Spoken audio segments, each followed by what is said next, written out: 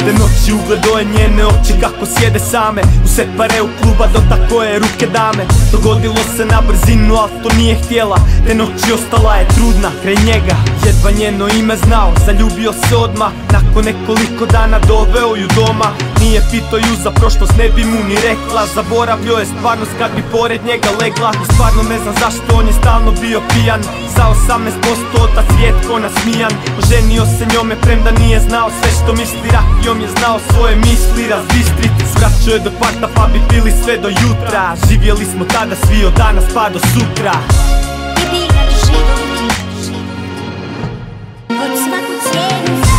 Otimati, uzimati, volku plati da sad izgubljeno vratim.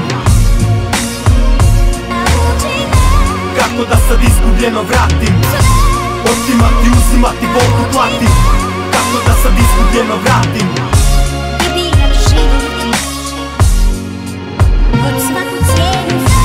Otimati, uzimati, volku plati. Kako da sad izgubljeno vratim? Kako da sad izgubljeno vratim Otimati, uzimati, volku plati Kako da sad izgubljeno vratim.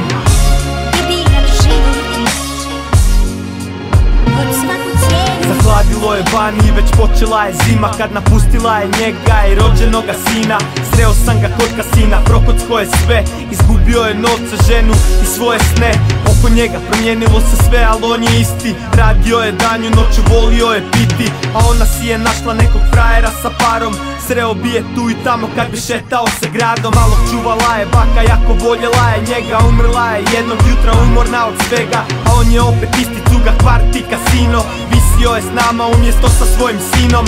Nesto je iz kvarta i dugo tu ga nije bilo. Nije nam se javljao pa nisam znao što se zbilo. Primio sam poziv, sjećaš li se njega? Pronašli su truplo i oproštajno pismo pokraj tijela. I oproštajno pismo pokraj tijela